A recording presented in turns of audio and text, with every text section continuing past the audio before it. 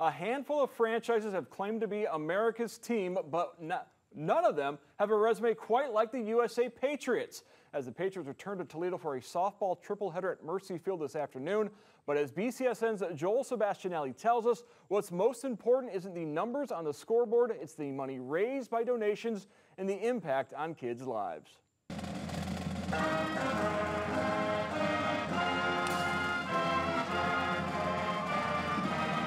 This is about the Stars and Stripes.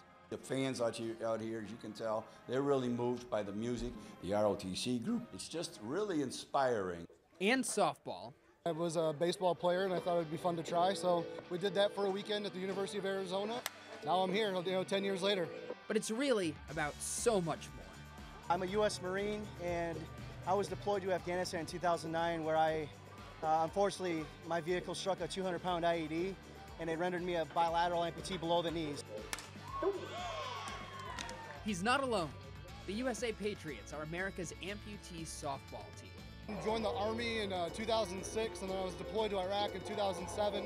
August 1st, I was in a Humvee and a roadside bomb went off and uh, broke my leg in 13 different places. They travel the country using the sport as therapy for themselves. We started back in 2011. It was just supposed to be a softball camp and it turned into this uh, this setting where guys can get together. It was kind of it kind of turned into like a mobile VFW or Legion, but it's nice to have that support group, even playing softball. And others. It's one of the biggest blessings that I can look back on and reflect upon because uh, it's allowed me to serve beyond the military uniform.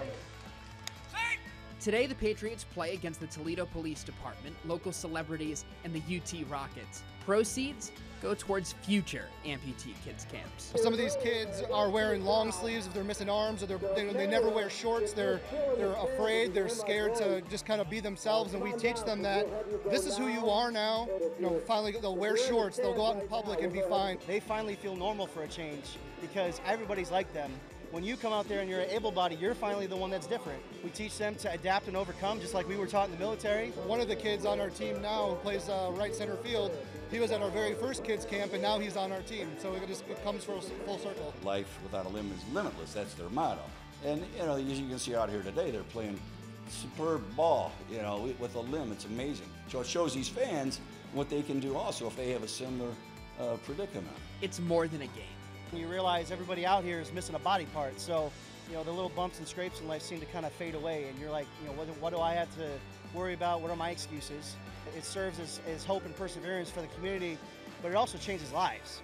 At Mercy Field, Joel Sebastianelli, BCSN.